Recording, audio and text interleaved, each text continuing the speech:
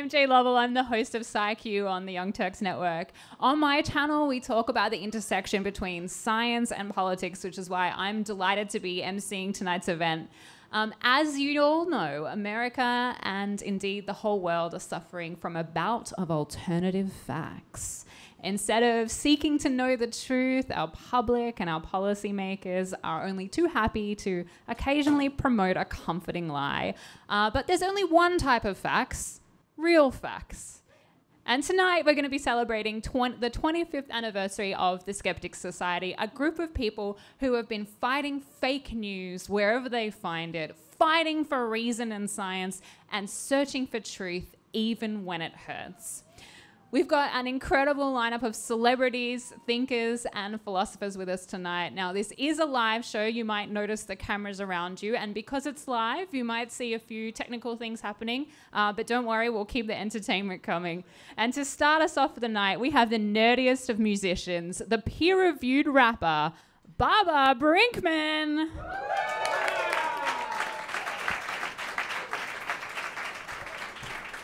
Thank you, Jayde. So uh, let's get the first slide of my little set here. I have been asked to open this event because I am both a rapper and an arch skeptic, although I'm trying to soften a little bit by instead of thinking what I believe and what I disbelieve, I try to think about how much do I believe in things? What's the probability that something is likely to be true?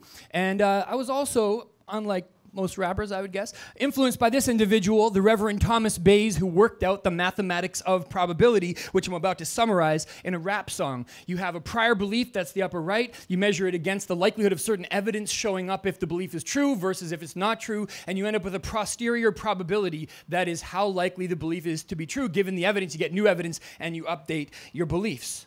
It turns out that is not just a formula for trying to figure out what's true in the world and being a skeptic and being rational. It's also how our brains perceive the world in general, right down to perception. So let's take a look at this next video. This was produced by the Sackler Center for Consciousness Science in the UK. And uh, all they've done here is they've filmed the college campus at the University of Sussex and run it through an algorithm developed by Google called Deep Dream. And Deep Dream scans photos on the internet, looks for patterns in the photos, and tries to predict the presence of certain things in the photos based on matching the patterns with the tags.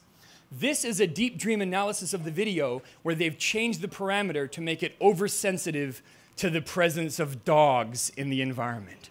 There's a few too many dogs in this video. In fact, there's no dogs. All it's doing is amplifying anything remotely dog like and making you see what it would look like if it was a dog. But here's the thing this is how our brains see everything all the time. None of you has ever seen a dog directly in your life before. What would it mean to see something directly? There is no light in the brain, there's no sound. All there are is neurons firing in response to the stimuli that hit your eyes and your ears, and your brain has to make some kind of a best guess or prediction, actually a Bayesian prediction, about the likely source of that signal. Then it takes new information from the senses and adjusts the signal, the prediction, but what you see is the guess. What you see is not the direct access to reality. So basically, we are all hallucinating all the time.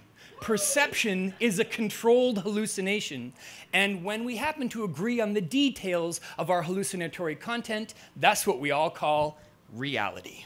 And that's what skeptics are trying to hone in on. So, this is the predictive processing model of consciousness, the Bayesian brain. I want you all to switch on your processors, and we'll see how deep the rabbit hole goes. This is also a good model for understanding optical illusions, because you have competing predictions switching back and forth in the brain. Double take, look twice, calculate the odds, roll the. predict the next rhyme. Consciousness turns water into Look around, you see faces, places. You really think you're taking in this information from the outside? Nah, it's generated internally, a controlled hallucination. Cascades coming from the top down, interpreting ambiguity all around. The brain doesn't see sights or hear sounds, it takes in signals that it's gotta figure out. Bam, bam, bam, go the axons firing, action potentials coming up the wiring. What is it? A friend or a predator hiding? Threats to survival are so exciting So make a prediction, compare it to the signal, calculate the difference. What's the residual? Now let that info update your best guesses in a cascade of predictive processes. Double take, look twice, calculate the odds, roll the. Predict the next rhyme. Consciousness turns water into perceptual basics. Ask Morpheus, we live in the We just see what we think we see. It's nothing but a shadow of a possibility. Bam, bam, bam, go the axon signals, and somehow your brain converts those to visuals. Even fast asleep with eyes closed when there's no feedback from the outside world to revise the code. To give it relevance, interpreting all the predictable elements in the images. Your brain does it superbly, only novel information is newsworthy. And it's not just perception only, it's action and cognition. Predictive coding has to figure out whether a signal's phony. So take steps, get your fingers probing, investigating points of contact. Your Bayesian brain makes bets on dog tracks or wolf tracks or whatever's up next that's relevant to survival prospects or reproduction. Let's not forget your brain calculates the odds of hot sex every few minutes or seconds or less, depending on present context. Double take, look twice, we can't see right like the three blind predict the next rhyme. If I was rapping like a mute, you would call me a perceptual basics. If we didn't have gravity, we would be We see what we think we see. Damn, that girl just winked at me. Expectations of expectations, governing internal bodily sensations, maintaining a sense of homeostasis as your brain sits in a lonely oasis. Just an organ, a tool that's evolved to do a job, to compute the odds of the causes of its own moods and thoughts, and the contours of what a body moves across. Even your emotions are just predictions of internal and external I get pissed off, and that's just my senses signaling a preference for something different. That's how my ancestors got selected. Okay, stop, cool off, pay attention to my sense of self, and goddamn, I predict myself, therefore I am. Double take, look twice, I'm a white rapper, but not vanilla. Predict the next rhyme. We're trying to make a dollar from a nickel and a perceptual basics. Ladybugs like to eat aphids. Yeah, we see what we think we see. Ah, my brain hurts. Let's drink some. Tea. I would have gone with tequila, but I. Thank you very much. Hope you enjoyed the show. I'll be back.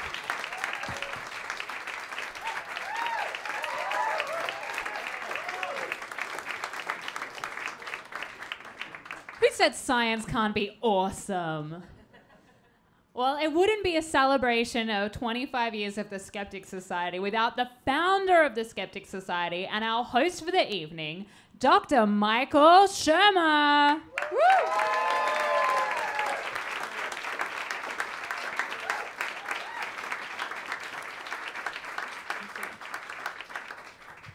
Now, Michael, you'll know better than anyone that skepticism and disagreement can come at a cost. Um, especially on the internet in, the, this internet era. And uh, by the way, if you'd like to see this panel again later, you can check it out on the Skeptic Society, the Young Turks Network, or SciQ, or Deepak Chopra's channel. You'll have to hunt around. Um, especially in the internet era when reason and logic quickly lose na- lose traction with people, you know, calling names and being trolls. Um, but I know that you're a true skeptic and you're willing, you know, to take a punch now and again in the name of truth and reason. Um, so, in the name and the spirit of skepticism and embracing disagreement, Michael, I believe you've invited a skeptic's skeptic tonight, someone you've often profoundly disagreed with, and yet you still managed to call a close friend. So let's get him out tonight. Founder of the Chopra Foundation and co founder of Jiyo and the Chopra Center for Wellbeing, Dr. Deepak Chopra.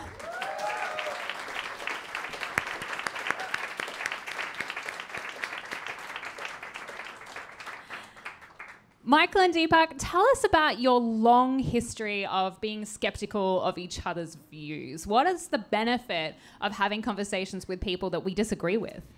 Right. Uh, well, well, let me just give a just a kind of a general background to uh, what we do, the Skeptic Society and Skeptic Magazine, of which I am the publisher. It's the um, quarterly publication of the Skeptic Society. We're a 501c3 nonprofit science education organization devoted to investigating claims of the paranormal, pseudoscience, fringe groups, and cults, and claims of all kinds between good science, junk science, bad science, voodoo science, pathological science, non science, and plain old nonsense.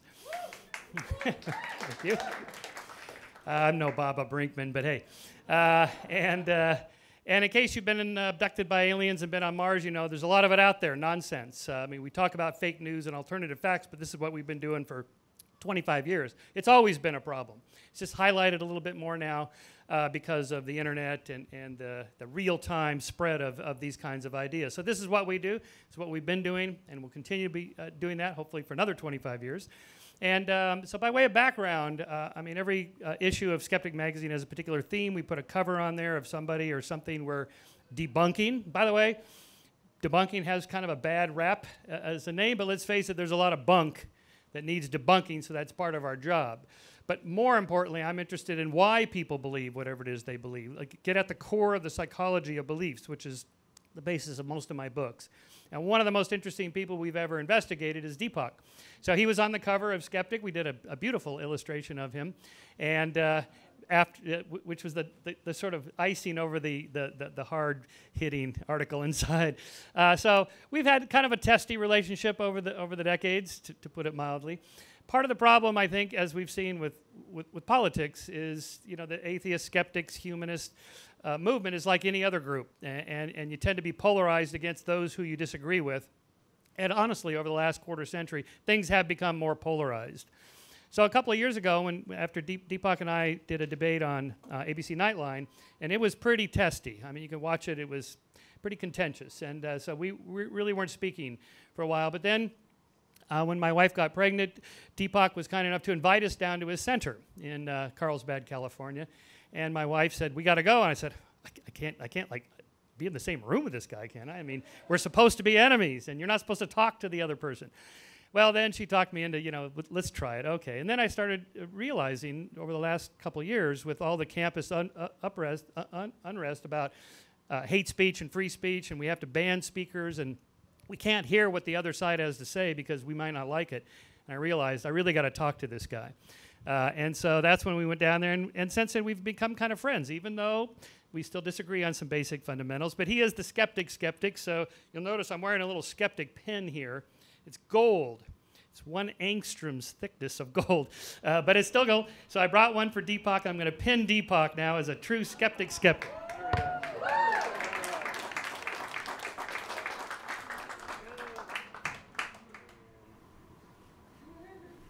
So there you are. You, you, are an official skeptic. Skeptic. Now, do you you agree now that I am correct about everything we've been? May I respond? Please. so next time you give me this pen, it should say radical skeptic, because I'm a radical skeptic. Radical skeptic. Okay. Which the position of a radical skeptic is, if you can see it, touch it, taste it, smell it, think about it, imagine it conceptualize it, it's a controlled hallucination, as Baba said. Yeah.